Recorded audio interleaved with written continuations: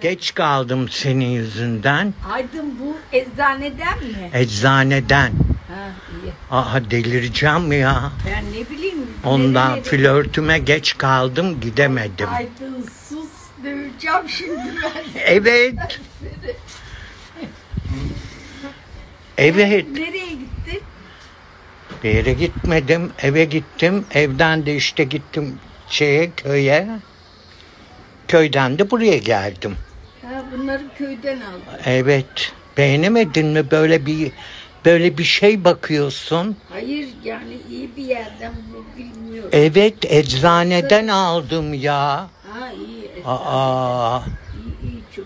daha ne 100 lira para verdim. Daha pahalısı yok. En pahalısını aldım ki sus diye. Abi çifte 100 lira. E yok teklisi 100 lira yoktu ki. E, yok ki tabii.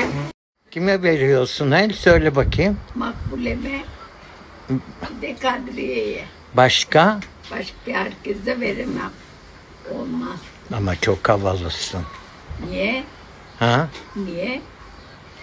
Olmaz. Her isteyene vereceksin. Herkese yazılı veririm. El vermek başka.